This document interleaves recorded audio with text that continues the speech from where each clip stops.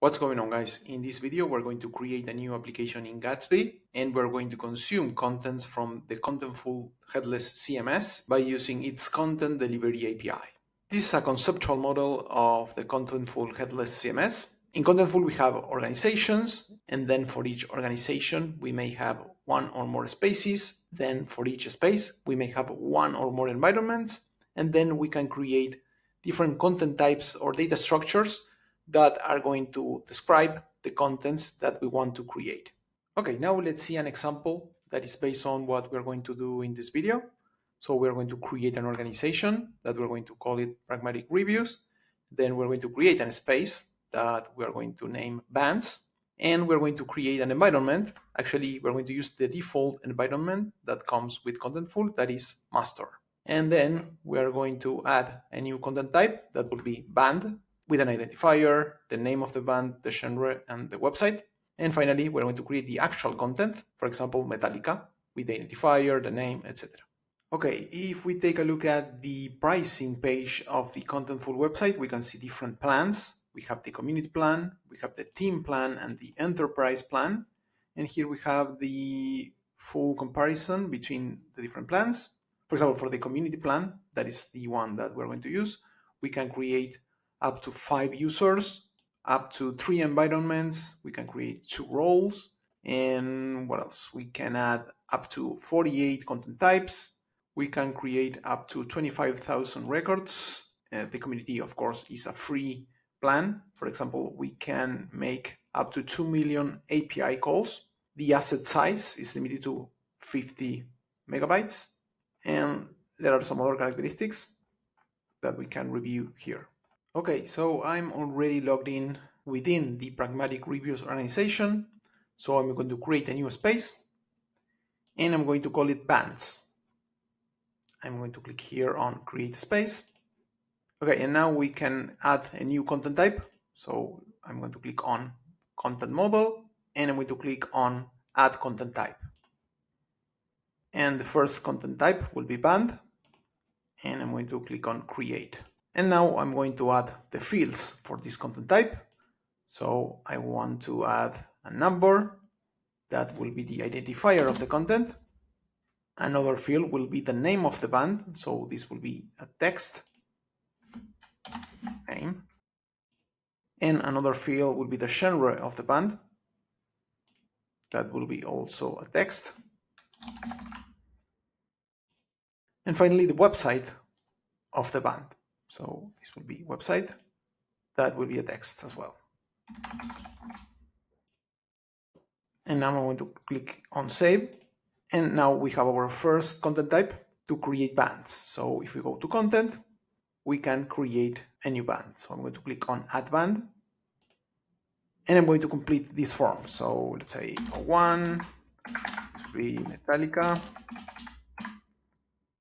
metal, www.metallica.com.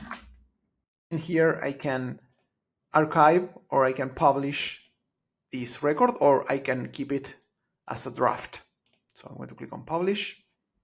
And depending on the status of the content, we will be able to access this content on different endpoints.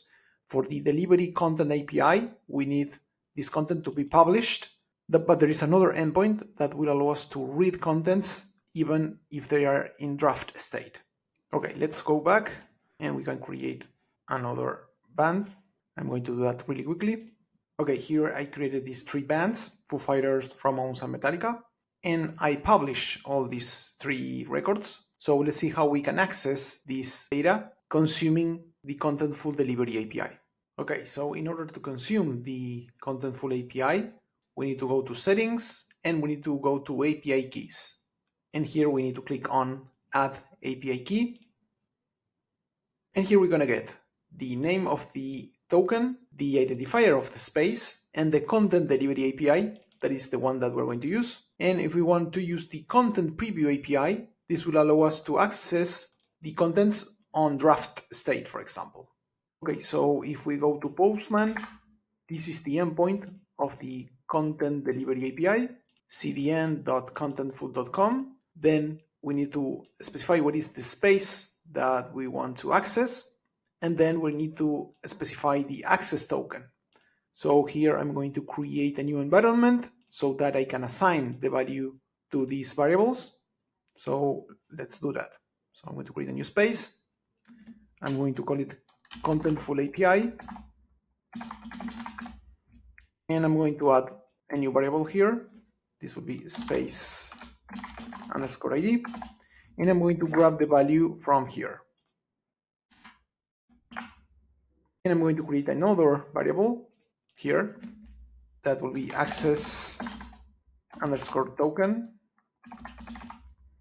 And I'm going to grab the value from here.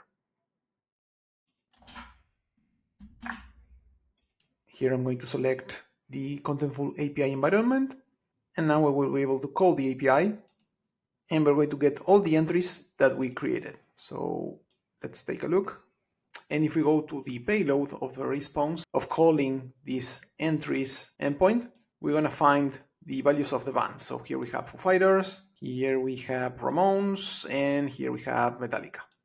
And there is some other data that is part of the response. For example, the environment that we're in, space, and the content type, that in our case is band.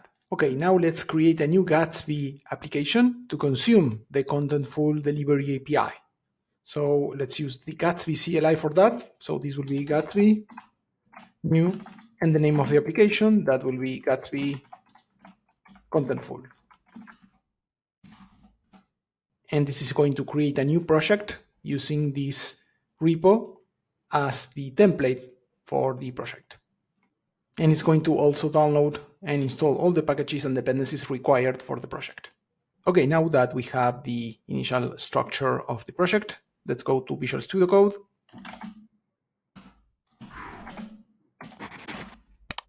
So the first package that we need to install is the plugin that will allow us to consume the Contentful API. So let's go to the Gatsby website and here we can find the plugin. So this is Gatsby source Contentful. This one. So here we can run this command first to install the dependency. So let's open a new terminal here and let's run that. npm install dash dash save gatsby dash source dash contentful. Okay, now that the Gatsby source contentful package is installed, we need to set it up here within the Gatsby config file. So we need to add a new entry here in this plugins array. So we're going to do that. So let's go back to the website. And here I'm going to grab this configuration from here. Paste it here. And here we need to replace this by our space ID. I'm going to grab that from the Contentful website and I'm going to copy that from here. And now I'm going to set the access token here and I'm going to grab the access token from here. And of course, we can always use environment variables. That's the recommended approach. Okay, that's all we need to set up this plugin. So now let's start the development server. So this will be Gatsby develop.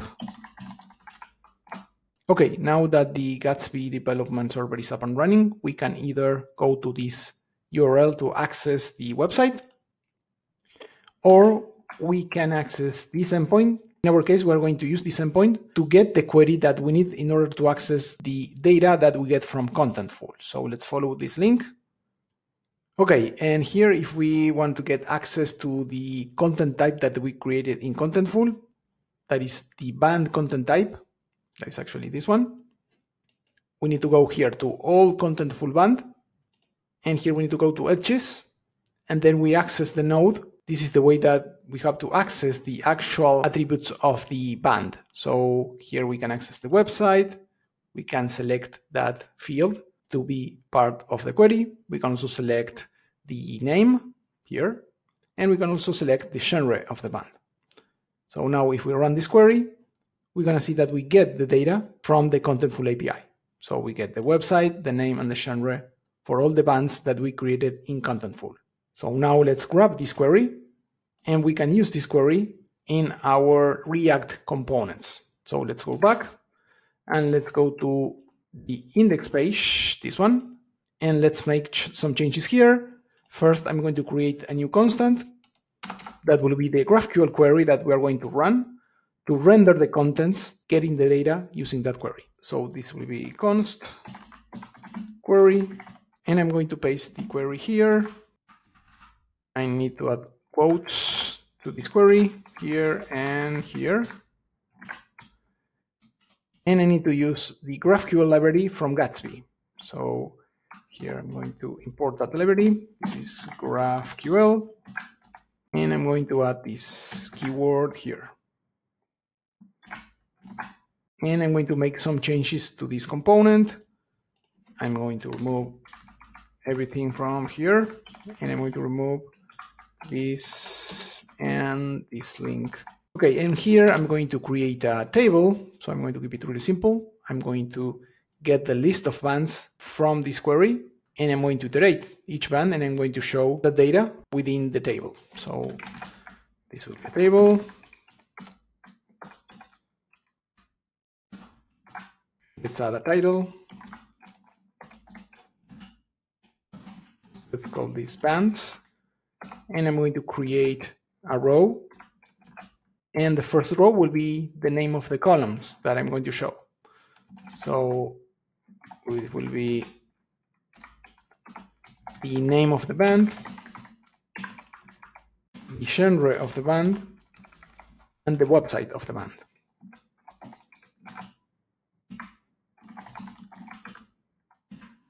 And now I'm going to iterate over the list of bands, and I'm going to show each band in a new row of this table. Here I forgot to export this query. So here I need to use the data variable. That would be the way to access the results that I get from this GraphQL query. So this is data. Actually, I forgot to add that as a parameter here. That's the way that we have to access the data using Gatsby and this plugin. So here is data, and here we need to use this value, all contentful band. We access the edges,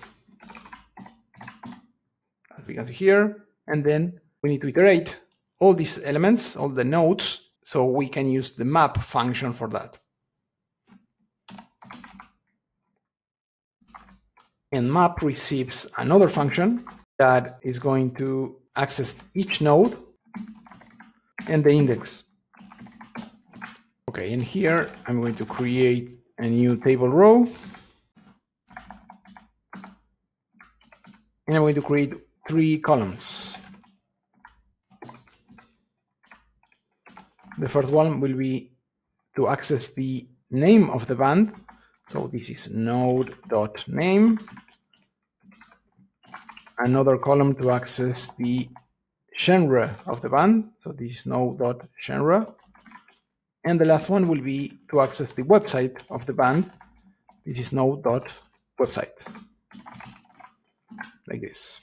Okay, now let's go to the browser and let's refresh the website. And as we can see here, we have the list of bands, Foo Fighters with the genre and the website, the same for Ramones and the same for Metallica. So that's all I have for today. Thank you guys for watching and I see you in the next video. Take care. Bye.